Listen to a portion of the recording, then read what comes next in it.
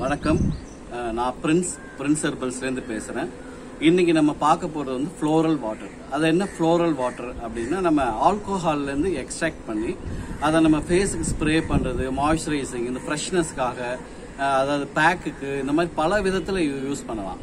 Alcohol extract பண்ணுறது அப்படின்னா நம்ம எத்தனாலில் தான் பொதுவாக எக்ஸ்ட்ராக்ட் பண்ணுவாங்க. எத்தனால் நம்மளுக்கு அவ்வளோ சீக்கிரமாக எல்லாருக்கும் கிடைக்கிறது இல்லை விலை காஸ்ட்லி வாங்குறது கஷ்டமாக இருக்குது அதனால இப்போ ஓட்காவை வச்சு நம்ம பண்ண போகிறோம் ஓட்கா ஏன் செலக்ட் பண்ணியிருக்கோம்னா ஓட்கா வந்து ஃபார்ட்டி பர்சன்ட் இருக்கும். அது ஹை ப்ரூஃப் ஆல்கஹால்னு சொல்லுவாங்க. அது ஏற்கனவே அதில் நிறையா வந்து பெனிஃபிட்ஸ் இருக்கும்.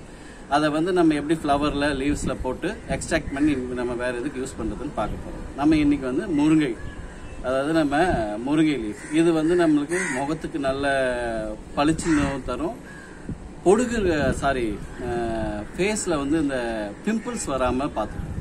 ஃபஸ்ட்டு நம்ம இந்த இதை வந்து லீஃபை வந்து எடுத்து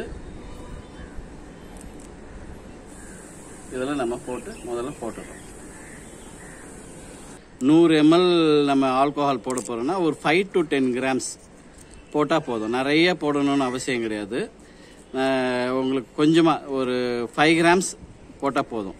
ஃப்ளவர்ஸ்லேயும் ஃபைவ் கிராம்ஸ் போடணும். பட்டைகள் மாதிரி அது மாதிரி போடும். வேர்பட்டைகள் வேப்பம்பட்டை அந்த மாதிரி ஏதாச்சும் போட்டிங்கன்னா லிக்கோ ரைஸ் அது மாதிரி போட்டிங்கன்னா ஒரு டென் கிராம்ஸ் வரைக்கும் போட்டுக்கலாம். இதை ஒன்றுமேல இதை போட்டுட்டு நம்ம இப்போ ஓட்கா ஊற்ற போகிறோம் ஓட்காவில் எது வேணாலும் நீங்கள் ஊற்றிக்கலாம் அது உங்களோட இஷ்டம். நிறைய ஃப்ளேவர்ஸில் வருது. ஃப்ளேவர் எதுவுமே கணக்கு கிடையாது. நம்மளுக்கு ஓட்காவோட ஆல்கோஹால் கண்டென்ட் தான் இது. இது சாதாரணமாக நீங்கள் எல்லாரையும் எல்லாருமே ஈஸியாக வாங்கிக்கலாம். எத்தனால் மாதிரி நம்மளுக்கு கஷ்டமாக இருக்காது வாங்கறதுக்கு. இப்போ கொஞ்சம் நெக் வரைக்கும் ஊற்றிக்கணும் கொஞ்சம் கேப் இருக்கிற அளவுக்கு ஊற்றிக்கிறோம் ஊற்றிட்டு நல்லா க்ளோஸ் பண்ணிட்டு நல்லா ஷேக் பண்ணி ஒரு டுவெண்ட்டி ஃபோர் ஹவர்ஸ் நம்ம அப்படியே வச்சு டுவெண்ட்டி ஃபோர் ஹவர்ஸ் ஆயிடுச்சு. இப்போ நம்ம வந்து முருங்கையை ஓட்கா ஊற வச்சிருந்தோம். அது எக்ஸ்ட்ராக்ட் வந்து நல்லா இறங்கியிருக்கு. One day or two days ஆனாலும் ஒன்றும் தப்பு கிடையாது. அதனால எதுவும் ஆகிறது போறதில்ல. நெக்ஸ்ட் நம்ம ஃபினிஷிங் ஸ்டேஜ் தான். இப்போ நம்ம எப்படி செய்யறதுன்றத நம்ம பார்க்கலாம். வாங்க. இது வந்து நம்ம நூறு எம்எல் இருக்கு. நம்ம இதுல வந்து ஃபோர் எம்எல் தான் யூஸ் பண்ண போறோம். மீதி வந்து ரோஸ் வாட்டர்லாம் யூஸ் பண்ண போறோம். இப்போ இதை நான் ஃபில்டர் பண்றேன். இது நிறைய வச்சு நம்ம அப்படியே எடுத்து வச்சுக்கலாம். எத்தனை வருஷம் ஆனாலும் கெடாது இது.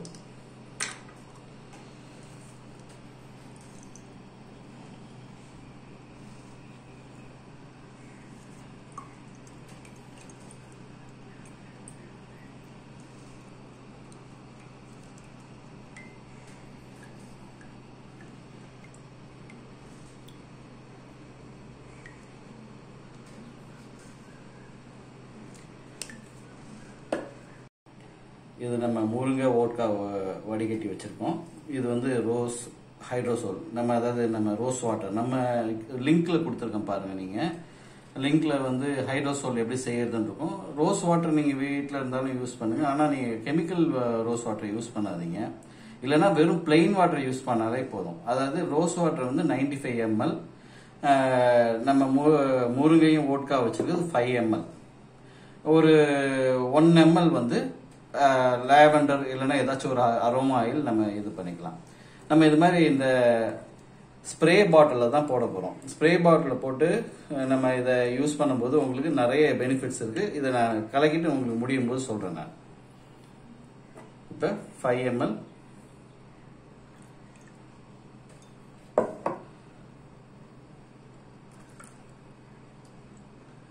இதில் மிக்ஸ் பண்ணிடலாம். ஒன் எம்எல் லேவண்டர் இதை நம்ம இது நம்ம ஊத்துறதுக்கு வசதியா இந்த டம்ளர்ல ஊத்திக்கிறோம். இதை வந்து நம்ம பாட்டிலில் ஃபில் பண்றோம்.